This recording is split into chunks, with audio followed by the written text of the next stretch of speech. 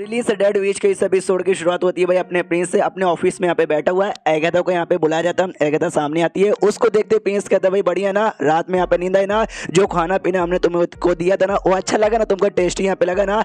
एगदा Prince को देखते money मन सोचती भाई, ये जो आदमी यहाँ पे ना, इस आदमी के बारे में क्या बोलूँ? जो भी इंसान लोग थे ना, उनको देखते ये सब पता लगा सकते भाई, कौन क्या कैसा है। लेकिन इसको देखते नहीं, डली मुझे कुछ आइडिया नहीं पड़ रहा। ये बस पूरा स्माइल मार कर आराम से कॉन्फिडेंस में से बैठा हुआ है, जैसे कि दुनिया का पप्पा है ये, पूरी दुनिया का पप्पा है, उसको पूरे दुनिया के बारे में सब कुछ नॉलेज है। सामने से कहती है नींद भी यहाँ पे अच्छी आई, खाना पीना भी यहाँ पे अच्छा लगा। लेकिन एक बीच यहाँ पे थी, जो कि बिन बुलाए मेरे कमरे में घुस गई थी। वो मुझे अच्छा यहाँ पे नहीं लगा। ये कहता अच्छा नाइट गेल के बारे में कह रही कोई बात नहीं, अगली बार ना नॉक करके यहाँ पर आएगी। अगर तुझे मन यहाँ पे करे, हमारी सीढ़ी में घूमने का तो जा सकती है। नाइट गेल को भेजूँगा चीज़ें तुझे देखेगी, बताएगी। ये टाइम के कैसे कैसे हमारे कस्टम कैसे यहाँ पे ट्रेडिशन है, देख ले। रही बात, तुझे बुक्स यहाँ पे पढ़ना। स्कोर नाम की जो मेरी बाजू में बीच खड़ी है ना, तुम इनसे पूछ सकती हो। यार ये इसके माइंड में सारी की सारी बुकें यहाँ पे स्टोर है। जो सुनते एकदा कहती है अच्छा भाई, तुम्हारा कस्टम देखूँगी, तुम्हारा ट्रेडिशन यहाँ पे देखूँगी।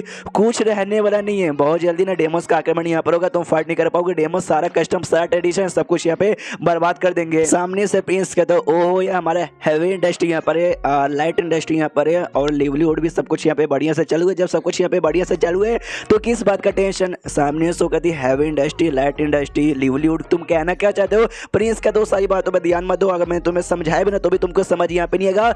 मुझे कुछ सवाल यहाँ पे पूछना है। पूछ सकता हूँ कहता सामने से कहते पूछो ना प्रिंस सामने से कहते केवल मुझे ये बताओ, तुम्हारे टाइम पे जो इंसान लोग यहाँ पे थे, जो तुम्हारे लिए काम करते थे, उनका भाई क्या था हालत? मतलब रहने के लिए घर मिलती थी, खाने के लिए उनको कितना टाइम मिलता था? सब कुछ बराबर उनको मिलता था या नहीं मिलता था? सामने से ये भी कह दिया ऑफकोर्स बराबर यहाँ पे मिलता था। हम जो भी इंसान लोग थे ना, जो हमारे अंडर में काम करते थे, हमारे गुलाम और नौकर बन के, हम उनको ना तीन टाइम का खाने का आइटम देते थे, और हफ़्ते में ना एक बार उनको मीट भी यहाँ पे मिलती थी। हाँ लेकिन जब डेमन मंथ यहाँ पर आता ना तो खाने की थोड़ी सी दिक्कत होती थी, जिस जगह में दिन में दो ही टाइम हम उनको खाना यहाँ पे दे पाते। और मेरे टाउन में जो बंदे लोग रहते थे इंसान लोग रहते थे हाँ सैलरी उनको नहीं मिलती थी। उनको सैलरी चाहिए नहीं था। उनको रहने के लिए, खाने के लिए सबको लिए हम लोग सामान दे देते। और प्लस उनको पढ़ाती, सिखाती भी थी। तो लोग ही सामने से मना करते कि रहने जी, हमें सैलरी यहाँ पे बिल्कुल भी नहीं चाहिए। जो सुनते सामने से पीस यहाँ पे एक्साइटेड किया अच्छा इसी बात का मज़ा आ गया।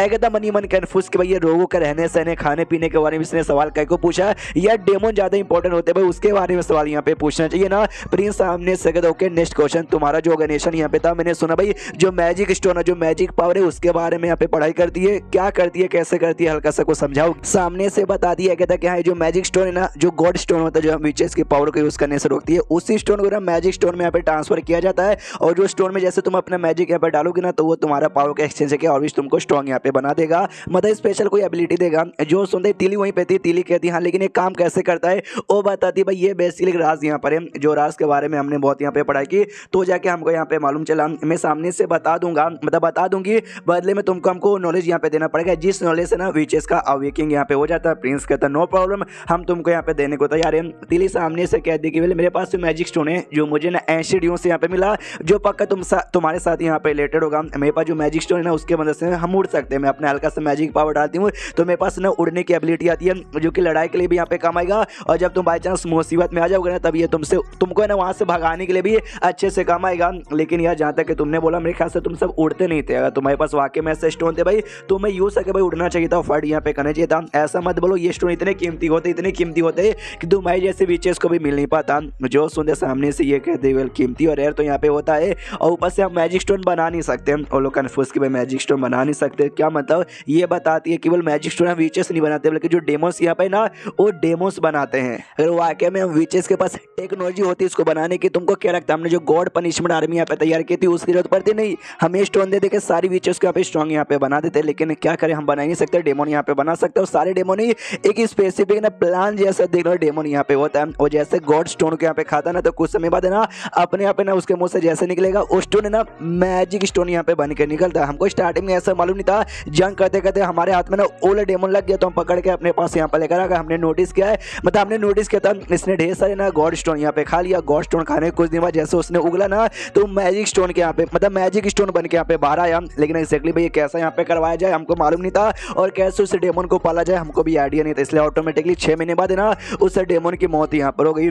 तो हमने अपने वीचर्स को बोल के पता करने भेजा, भाई स्टोन के बारे में डेमोन के बारे में पता करो। तो हमारे एंड में भाई यही कंक्लूजन यहाँ पर लगा। ज़्यादा डिटेल में हमको मालूम नहीं चला। जो स्टोन है, सारे डेमोन यहाँ पे यूज़ करते हो फाइट करने के लिए। फॉर एग्ज़ाम्पल कोई अपने माथे पर लगाता है, कोई अपने हाथ पर लगाता है, जिससे उनका फिजिकली वो जो पावर है ना, उस बॉडी पार्ट का इंक्रीज हो जाता है। तो सामने से तिली कहती है अच्छा नहीं, हमको लगा भी उस टाइम के विचेस यहाँ पे तैयार करती होगी, या चर्च वाले तैयार करते होंगे, लेकिन ये बेसिकली डेमोस लोग तैयार करते थे अपने यूज़ के लिए। और मुझे ऐसा लगता है तुम्हारी बातें सुन के जो भी डेमोस यहाँ पे ना, सारे डेमोस यूज़ भी नहीं करते होंगे, उनमें जो स्पेशल हाई लेवल का हाई ऐसा जो ऑर्डर रखना डेमोस है ना, वही खाली यहाँ पे यूज़ करते होंगे। सामने से पेन पूछता तो क्या जो स्टोन इस यहाँ पर मैजिक स्टोन है, वो लिटरली अलग अलग टाइप के बहुत सारी एबिलिटी वाले डेमोन के पास यहाँ पे पड़ी हुई है। क्या जो सुनते सामने से ये के तीनों वगैरह ऐसा यहाँ पर होता ना, हमारा खात्मा कब का हो जाता ना इंसान यहाँ पे बसते ना यहाँ पे डेमोस यहाँ पे बसते। जैसे मैंने यहाँ पे पहले भी बताया था, दो बार पहले भी जंग हो चुके सबसे पहले जंग यहाँ पे हुआ था लगभग नौ सौ साल पहले, जिसमें जैसे डेमो ने हमला किया था ना तो उस समय ना ज़्यादा का डेमो के पास स्टोन नहीं था। बहुत ही कम ऐसे डेमो के पास यहाँ पे स्टोन था। तो उस समय जो लड़ाई यहाँ पर हुई थी,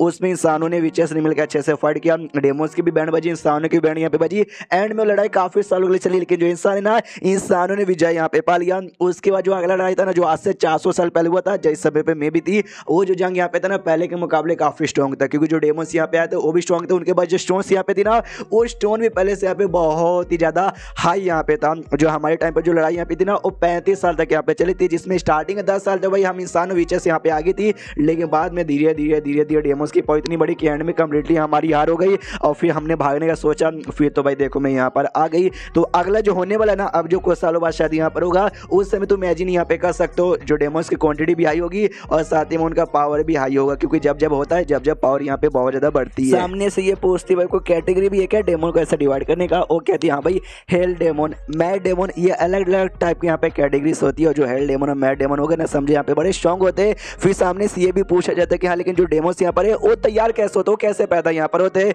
जो सुनते ये कहती आई डोंट नो इसके बारे में तो कहीं भी लिखा नहीं गया है, मुझे यहाँ पे मालूम नहीं है। जो लाल लाल धुआँ यहाँ पर ना, उसके ज़रिए सर्वाइव यहाँ पे करते जिस चक्कर में हमको कभी रिसर्च करने का टाइम नहीं मिला, और रही बात जो ऐसे डेमोस जो कि बिना सर्वाइव किए लाल धुएँ के ज़िंदा रह लेते वो डेमोस नहीं होते, बल्कि डेमोनिक बिस्ट यहाँ पे होते हैं। और डेमोनिक बिस्ट जानवर जैसे होते हैं, जिनके पास कोई दिमाग नहीं होती है तो उनके साथ ना बातचीत करना कम्युनिकेट कर पाना लगभग नामुमकिन था। तो प्रिंस भी सोचता है कि बिस्ट ओहो डेमोनिक बिस्ट सामने ऐसा कहती हाँ ये जो डेमोनिक बिस्ट यहाँ पे होते हैं ना, ये ऐसे बिस्ट है जिनके पास दिमाग नहीं होती मतलब नॉर्मल जानवर जैसे होते हैं, और साथ ही में स्ट्रॉन्ग यहाँ पे बहुत ज़्यादा होते हैं, और लाल धुएँ की उनको ज़रूरत भी नहीं पड़ती। सर्वाइव करने के लिए ये लोग यहाँ पर रेप्टाइल जैसे होते हैं, लेकिन बहुत ही बड़े साइज़ के जो किसी भी चीज़ को उगल सकते, खा सकते हैं, उड़ने वाले यहाँ पे होते हैं। तो जैसे प्रिंस सोचता है अच्छा ऐसी बात होती है फ़ोटो निकाल के देखता, दिखाता है। वही फ्लाइंग बिस्ट जिसपे उड़ के डेमोस लोग यहाँ पे आए थे। देख तो कहती हाँ हाँ ये ये वही डेमोनिक बिस्ट है, उसके ऊपर एक डेमोन यहाँ पे बैठा हुआ है। तुम पहले से मिल चुके थे। प्रिंस कहता है कि वेल हमको लगा जो नॉर्मल डेमोनिक बिस्ट होते ना, जो डेमोन मन के टाइम पे हमला करते, वो ऐसा कोई बिस्ट यहाँ पर होगा, और उसके ऊपर बस टेम किए होंगे उन्होंने सामने से। ये कहते, नहीं नहीं यार, देखो, एक नॉर्मल बिस्ट यहाँ पे होता है ना, वो तो एकदम नॉर्मल बिस्ट होता है डेमोनिक बिस्ट सेकेंडली ये हाई लेवल के डेमोनिक बिस्ट माने जाते हैं, जो कि डेमोस के लिए यहाँ पे काम आते हैं। जो नॉर्मल बिस्ट ना भाई, उनको तो मार काट के ना चिकन समझ के डेमोस लोग खा जाते हैं। ये जो डेमोनिक बिस्ट ना, ये थोड़े से स्पेशल होते हैं। इनका वो लोग यूज़ करते हैं, जैसे तुम देख सकते हो फ़ोटो में उड़ने के लिए यहाँ पे यूज़ किया जा रहा है। एंड देन ये चैप्टर यहीं पर खत्म हो जाता है। तो चैप्टर खत्म तो वीडियो भी खत्म। तो मिलते हैं अगले किसी वीडियो में, जब तक के लिए बाय बाय